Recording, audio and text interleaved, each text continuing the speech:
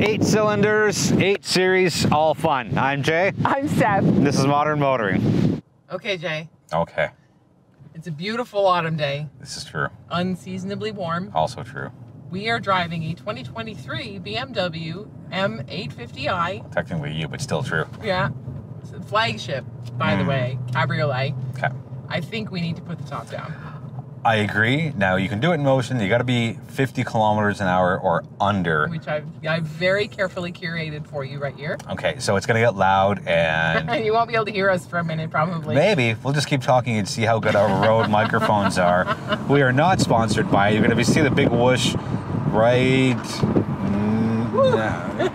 That's okay. Now you have to stay at 50 the whole time. You can't just start it below 50. Oh, the car starts getting very upset. Okay, Um, there we because go. if you do, it will just stop, Mm-hmm. and then you're in all sorts of trouble. Because if you go fast, anyways, 50 and under.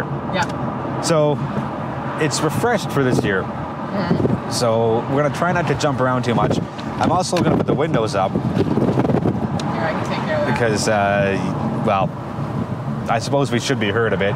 And the windscreen is removable if you want to put rear passengers in. If you don't care for rear passengers, uh, keep it in like we did. But if you are car- carting around people in the very small back seat, then you got to take it out. It fits in a bag, goes in the trunk. So the biggest thing for me is a 12.3 inch screen. As far as everyday functionality, it's tweaked a little bit uh, design wise on the outside. Um, but let's get to the fun stuff. I said I'm not going to jump, but here we are, jumping all over the place. Yeah. So it's still their awesome 4.4 liter uh, V8, and it sounds it sounds good in comfort mode, um, as we've found out. It sounds even better in Sport and Sport Plus, uh, and it comes in at the very familiar 523 horsepower, 553 pound-feet of torque through their eight-speed automatic transmission. The fun thing you found out, rear wheel steering. Yes. And I, I felt it the first day I had it. I'm like, this is a very long vehicle, and it it corners surprisingly well. Mm-hmm. And I I mentioned I feel it may have it, but yeah. yeah, good it job. Does. Um, it- not as dramatic as in the EQS that we reviewed recently. I Which was don't 10 degrees. Yes. I I feel this is four, like just enough to get you neighborhood, to parallel park a little better than you uh, than you, than you normally would. So since we're inside, we'll kind of start focusing in on the inside. So the 12.3 inch screen, I don't really notice that much of a difference between that and the outgoing 10 inch screen. It still has their iDrive, which to me is perfect because it keeps me happy with the dial and it keeps you happy because you can actually reach over and touch it itself and That's play right. around with that. Yeah. People are still upset that the tachometer is uh, quote unquote backwards. You sh- don't be upset. You shouldn't be upset. It still gets you all the information, and it's just a different kind of symmetry. Um, this does have the little camera at the top of the dashboard, uh, which monitors your eyes to let you know if you're kind of drifting off or whatnot, which is kind of I don't know. I think it's a good feature. The downside to that is for people like me who like the steering wheel very low, the top of the wheel doesn't go as low as I'd like it to because it will impede the camera if it does. If the top is down, be a little extra careful when you get into the vehicle. Um, this is pretty sharp and it's pretty long. Mm-hmm. Um, we found we had to sort of like crouch our way in. Yeah, so it's uh, and it's a two doors, so you have that benefit of the longer doors. But just be a little mindful you can't just slide in as you would with the rest of the vehicle. The upgraded blue insides. Oh, so beautiful. I normally don't like this kind of stuff. Mm-hmm. Like, give me black. I know you don't like black stuff because it's too much black on black on black. This is almost perfect. Almost. And my tiny nitpick with it, nitpick up with it, nitpick with it, is it's this nice dark blue, but it's also got gray stitching. Okay. Only because it's their flagship vehicle, red. Oh, I That's disagree. really I you don't, you don't think red would look just completely pop? No, I, I, Really? I see where you're going with it, but I would I don't think I would appreciate the red on No? the blue. No, I think that the contrast of this with the matching color below the line here Mm, is fair. really nice. All right, well, I like a little bit of color. Just I wouldn't want this to be red. Then you can pay three hundred dollars in Canada for the extra M Sport uh, seatbelts. Well, maybe I would. There you go. Well, if I'm in for this kind of money for a flagship vehicle, there's no bad aspect of this engine, or specifically it being placed here. Now, yes, it's in other vehicles. It was in the M550i that we had. It's in the X7, but Mm-hmm. for this specific vehicle, the way it's planted, the dimensions of it. Um, you get so much power right away, and I think it does a zero to 104 ish seconds for a vehicle of this size, width, and length. That's it's almost too much, but I think you're buying this for the sheer performance aspect of it. Yeah, absolutely. Anybody who wants to put out this kind of money is looking for this kind of performance. I think I'm just looking to find a stretch of road where we can actually unwind it a little bit and, and show off the sounds that it makes. Listen, it's not right to nitpick it much at this vehicle. It's Fair. almost perfect. My only thing with it is, even with the rear wheel steering, I find it big. Now, big lengthwise or big widthwise? It's big in all Like dimensions. all- gonna pop it into Sport Plus here. Listen to the change. Oh, there we go. Can you hear that? You can hear that. Oh yeah. That's so good. And it's it's extra good when it's in uh, Sport Plus with the top obnoxious. down. We were we were driving through a neighborhood with it in Sport Plus, and Jay said, "Do you really have to do that?" like it's It's for research, right? yeah, exactly.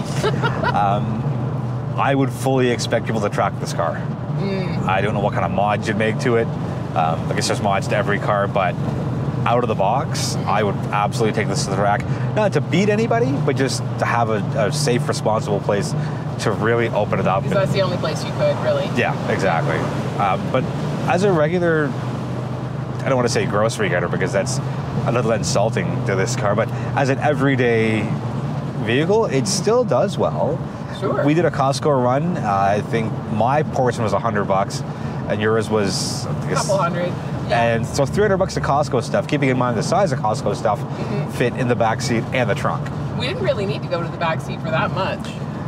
There was bread, so I didn't want to have it Yeah. risk being squished, but you probably could fit a fair amount of things in there as far as what your daily life dictates for you. Now your trunk area has sort of like because this is the cabrio. There's that section at the top Right. that's reserved for the roof to come back in. So you have to slide things underneath that to make full use of the space. Like, There's not as much tall space as there would be in any other truck. Right, like I don't think one of my guitars could fit lengthwise, but Right. that's what the back seat's for. Right. Um, cool things on the outside are the lit up grill. Mm. And we'll throw some pictures up now that we took and some video when it was really foggy. It's the last few days in uh, the beginning of November, Yeah. um, morning, noon, and night, mostly fog. And you can really see it. And the BMW laser lights look extra sharp. And yes, I know it's a refresh, but most of the elements are still the same, which I think is great. I don't think anything needed to be done to this to enhance it. I don't think anybody needs to hear us say that we prefer the the horizontal style of grill, even as big as it is on this car, over wouldn't the yeah. vertical style. I'm happy it's not here, but if it were to be here, I wouldn't bother me What? at all. That up and down, style? yeah, Oh, wouldn't I- bother me. It would bother me. No, because I don't see the front of the car. I like this. Sorry, I would only see it when I walked up to it. for my for my walk up Really? perception. I like the horizontal better. I do. It- So do I, but if BMW said take this, but you have to have the vertical grill, fine. Se- Okay. Send two. In typical BMW fashion, which is fine. There's a bunch of options tacked on. Yeah. So we'll go through and we'll see which one of us would take which. Who's ready for another game of Is It Worth It? So for the blue slash ivory interior, Yes. at forty five hundred dollars. I'm taking that every day. Ah, you could have mine. Really? No, thank you. Oh wow. No, that- thank you. I'm- Now this is the merino leather. So there's different combinations and different color combinations and different leather qualities. So My money is better spent on audio oh no. than the well, interior. Sure, fair, but I, I like I would get Really? joy out of sitting down in this interior every day. All right, fair.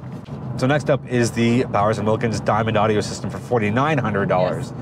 Instant yes for me. Absolute instant Not yes for me. Not only because the sound is so good, but these speakers are Oh, they so light up, and it's it's so you can light them up white or the color for the rest of the ambient lighting on the inside. There's uh, a handful of them. Here's some more of that foggy night cutaway here I'm going to show you Oh, it's it so looks like good. at. It It's looks so good. It's a work of automotive art. Dark optics package for twenty nine hundred dollars. Gives you the M Sport brakes. Gives you the uh, In black. In black. Yeah. It gives you your laser lights.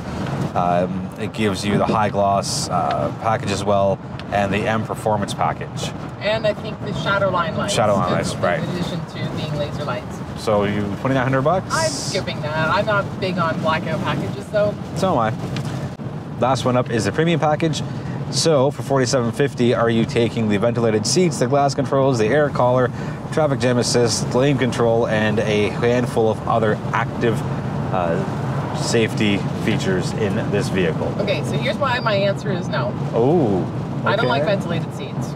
Fair, The air collar, I can take or leave. I'm not. It doesn't. but it's built-in air to your neck. it doesn't bother me either way. I can wear a scarf. Fair. And um, I don't like the way some of the safety features work in this car. The I tugs for the lane keep assist are really, it's really, strong.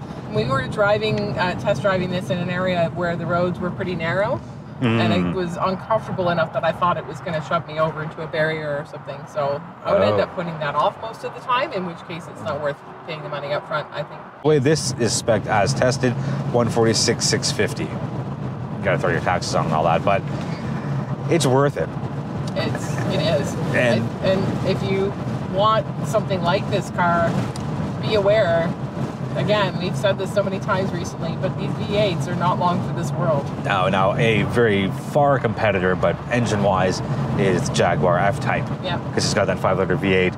I would say the Lexus LC 500 is stacked side by side with this.